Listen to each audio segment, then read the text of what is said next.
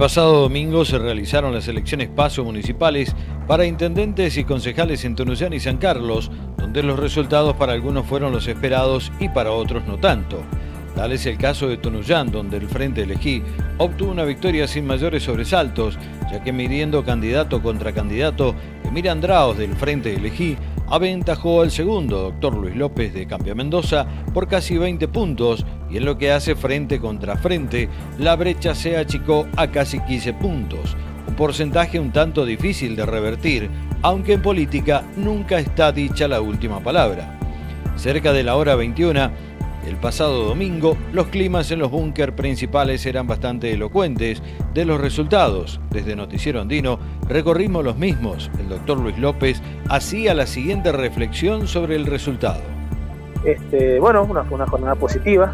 Eh, verdaderamente estamos entre 2 y 13 puntos abajo como frente, lo cual este, nos, posiciona como una opción clara este, dentro de las próximas elecciones. Hay que recordar a la gente que tenemos las próximas elecciones son el 3 de septiembre, sea que tenemos, tenemos cuatro meses por delante, los cuales, bueno, ahora se suman nueve, nueva gente al equipo, las cuales estamos este, muy este, orgullosos de, también de que nos acompañen, porque con la gente del frente lo hemos charlado previamente y creemos que tenemos un sentido común todos, todos estamos enfrente del populismo, nosotros creemos que, que, el kirchnerismo es lo que le ha producido tanto, tanto daño a la sociedad y bueno, y vamos a seguir con esta propuesta. Nosotros creemos que tenemos la propuesta más sólida dentro de los partidos políticos y bueno, vamos a reafirmarla y a sumarle nuevas ideas, por supuesto, que trae que traen los otros candidatos del frente, ¿no? Mira, nosotros no manejamos encuestas, la verdad que nosotros no teníamos encuestas previas, eh, hemos escuchado algunas algunas este, que, han dicho desde el oficialismo, pero nosotros no teníamos encuestas previas al, nos parecía la mejor encuesta, nos parecía esta. Este, así que bueno, hoy en día encarando una, nueva etapa, ya, ya no como precandidato, sino como candidato, pero sabiendo que en el frente se suma, se suma nueva gente, con, mucha fuerza y con nuevas ideas que vamos a, que vamos a acompañar, ¿no? No queremos que, el populismo este, crezca en nuestro pueblo, ya llevamos 12 años de, populismo, bueno, intentaremos terminar el 3 de septiembre con, con, este, con este municipio que a nosotros nos parece que tiene mucha deuda con la gente, pero bueno, veremos, veremos si la gente nos acompaña con la idea este, creo que las propuestas nuestras fueron claras. Creo que la gente quizás, a ver, esto el tema de difusión, eh, hay que llegar a cada vecino de Tunuyán y por eso, bueno, ahora nos dedicaremos a eso. A sumar ideas, por supuesto, porque hay, hay, gente que se suma al frente y a transmitirlas para que la gente pueda tomarlas como propias, ¿no? Donde sí había festejo por el resultado era en el búnker del Frente de Elegí Tunuyán. Allí una nutrida cantidad de militantes se acercaron para festejar el triunfo. El intendente y ahora candidato a concejal Martín Aveiro decía lo siguiente. Eh, orgulloso de ese equipo, de este gran equipo de y sobre todo con una emoción tremenda por el deporte de este gran equipo que está acá y está en rincón de En todas las mesas se tuve la victoria del Frente En todas las mesas, creo que hay una sola mesa que hemos había empatado, pero se ha ganado prácticamente en todas las mesas de Tunidad, los distritos con una diferencia abismal, así que la verdad que orgulloso, feliz, muy feliz contento y, con la tranquilidad y la seguridad de que la gente comprende que no somos promesa, que no somos relatos, que somos realidad permanente y que somos una transformación constante y tal y Por otro lado, esta mañana ya algo más relajado, pudimos hablar con el ahora candidato a intendente por el Frente Elegido de Tunuyán, Emir Andraos, quien estará a cargo de la intendencia por unos días a raíz de la licencia de Martín Aveiro. Bueno, para nosotros la verdad que una gran gratificación a, tanto trabajo. Eh, una vez más la, comunidad de Tunuyán nos acompañó, apoyó, apoyó este proyecto de transformación. Así que, bueno, como vengo diciendo en cada una de las, de las entrevistas y las notas, agradecido con el pueblo de Tunuyán por el acompañamiento.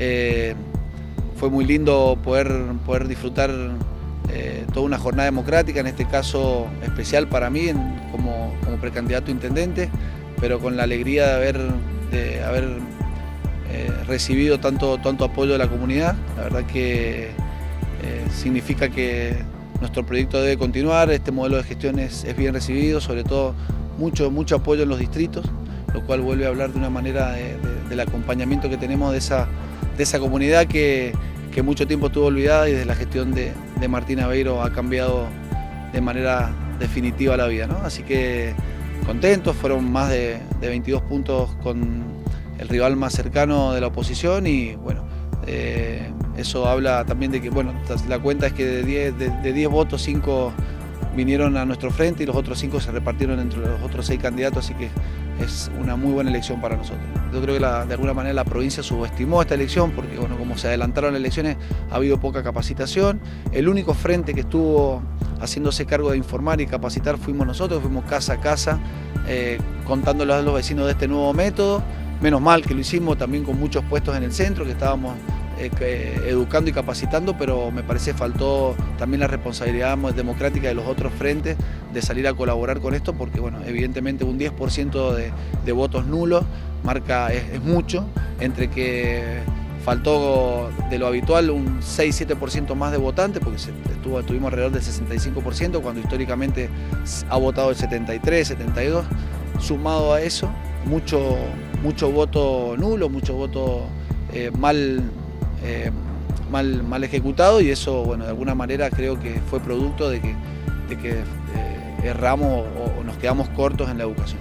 En definitiva, en Tunuyán quedaron para las generales de septiembre tan solo tres candidatos, Emir Andrao por el Frente Elegí, Doctor Luis López por Cambio Mendoza y Cristian Gotardini por Unidos por Tunuyán. Pasamos al departamento de San Carlos, donde el resultado fue bastante parejo ya que si bien el doctor Alejandro Morillas de Encuentro por San Carlos le sacó una amplia ventaja a Silvio Panocchia, candidato de cambio Mendoza, en la sumatoria general de frente contra frente, la diferencia fue solamente de algo más de 800 votos, lo que deja abierto un panorama para las generales de septiembre con una gran incógnita de quién será el próximo intendente de los sancarlinos. Un dato curioso en San Carlos es que, por ejemplo, los votos nulos fueron del 5,04%, superior a la diferencia que hubo entre los candidatos de frente contra frente en San Carlos entre Encuentro por San Carlos y Cambia Mendoza, que fue del 4,60%. No obstante, se festejó la victoria en el búnker de Encuentro por San Carlos. Allí hablamos con el doctor Alejandro Morillas quien será el candidato intendente por el frente y estuvo acompañado por principales referentes, entre ellos el diputado Jorge Difonso. Sí, estoy feliz, la verdad que eh, desborda el cariño, la, gente la verdad que te demuestra tanta, tanta energía, tanto cariño que eh, la verdad muy emocionado. Esa vibra que había, esa gente que uno sentía que, transmitía tanto cariño, eh, indudablemente se volcó en las urnas y bueno, gracias a Dios eh, quedamos muy bien. Seguramente, esto, esto forma parte de, una, de un grupo de gente que viene trabajando hace muchos años y de a poquito vamos ocupando espacios y eh, con una visión siempre de que este San Carlos sea grande. Indudablemente hay cosas a mejorar, eso creo que es en esta campaña lo que surge, lo que han recabado nuestros candidatos caminando y hay que enfocarse en eso para mejorar todo lo que se pueda San Carlos. Pero ¿cómo? Trabajando en conjunto, con mucho respeto, con mucha humildad, convocando para seguir adelante con los que nos acompañaron, pero también convocar a los que no votaron nuestra lista para que en septiembre lo hagan. Creo que la provincia de Mendoza se ha expresado hoy a lo largo de los siete departamentos, ya yendo un poquito más allá de San Carlos, en los siete departamentos donde han habido elecciones anticipadas, creo que claramente el rumbo de la provincia está demostrado que la población no está conforme y está planteando alguna situación de que la provincia debe mejorar. Nosotros hemos tomado nota desde la Unión Mendocina y pretendemos plantear una propuesta que sea superadora, que sea positiva y que Mendoza mejore. Recordemos que Mendoza estaba número 4 en el ranking nacional de provincias, hoy está número 14. Han pasado los estándares económicos, los estándares sociales, los estándares educativos, la infraestructura. Tenemos que mejorar Mendoza y para eso estamos trabajando. En el búnker de Cambia Mendoza, si bien no se triunfó, el ánimo también era bastante bueno ya que el resultado lo catalogaron como un empate técnico. Allí en el búnker hablamos con el candidato a intendente de Cambia Mendoza, Silvio Panocchia, quien reflexionaba sobre el resultado de la siguiente manera. Feliz de esta elección histórica donde el departamento San Carlos ha dicho no al oficialismo, un 65% de los votantes y un poco más de ese porcentaje han dicho no al oficialismo y quieren un cambio. Nosotros estamos encarnando esa posibilidad de poder cambiar el rumbo del destino de, San Carlos. Y creemos y invitamos a todos los sancarlinos a que nos acompañen, a que se sumen. Esta es la propuesta del cambio verdadero que vamos a realizar. Solamente ha habido una diferencia de 4.2, casi 700 votos, lo que significa realmente un empate técnico frente a una maquinaria electoral que han seguido mintiendo en la plaza y siguen mintiendo y frente a eso creo que lo que vuelve, lo que debemos recuperar es el clima social de bienestar, de la, armonía, del pariente San Carlino que realmente hoy estamos planteando volver a recuperar en San Carlos. En definitiva, para las generales del mes de septiembre en San Carlos habrá cuatro candidatos que se disputarán la intendencia. El doctor Alejandro Morillas de Encuentro por San Carlos, Silvio Panoquia por Cambio Mendoza, Marcelo Romano por el Partido Verde y Juanchi Torres por el Frente Elegí San Carlos. Como resumen final de este primer examen, quedan algunas reflexiones. La primera, está claro que habrá que seguir haciendo docencia sobre la boleta única. Hay mucha gente que votó mal. Se refleja a las claras en la diferencia de votos que hubo entre candidatos a intendentes y concejales. La segunda es que tanto en Tunuyán como en San Carlos hubo algo más de un 30% de los ciudadanos habilitados a votar que no concurrieron.